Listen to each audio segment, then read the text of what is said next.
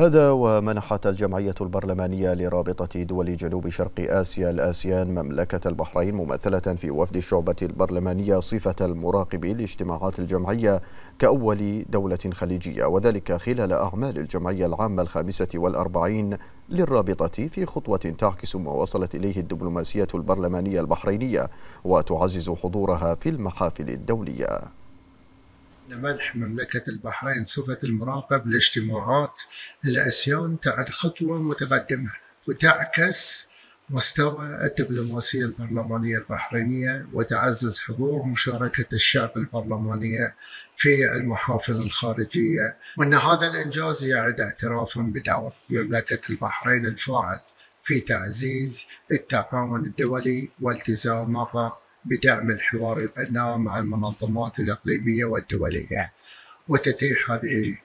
آه، الصفة الجديدة للمملكة الفرصة للمشاركة في المناقشات البرلمانية المهمة حول مختلف القضايا التي تهم دول جنوب شرق آسيا بما في ذلك الأمن والاقتصاد والتنمية المستدامة والتحديات الإقليمية والدولية ومملكة البحرين تسعى دائما إلى بناء علاقات قوية ومتوازنة مع مختلف دول العالم ويأتي هذا الإنجاز ضمن جهودها المتواصلة لتعزيز دورها على الساحة الدولية والإقليمية في المجالات البرلمانية السياسية والاقتصادية.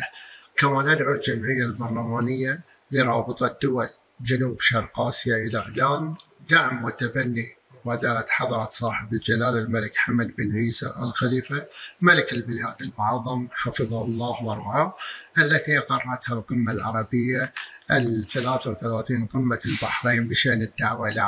عقد واستضافة مؤتمر دولي للسلام في الشرق الأوسط. كما ندعو دول الجمعية الموقرة على حث الدول. الأسيوية على دعم مبادرة مملكة البحرين التي طرحت أمام الجمعية العامة للأمم المتحدة مؤخرا في إقرار معاهدة دولية لتنظيم وحوكمة وتطوير الذكاء الاصطناعي بما يحقق الاتصال والنمو الشامل ويضمن الاستغلال الأمثل لهذه التكنولوجيا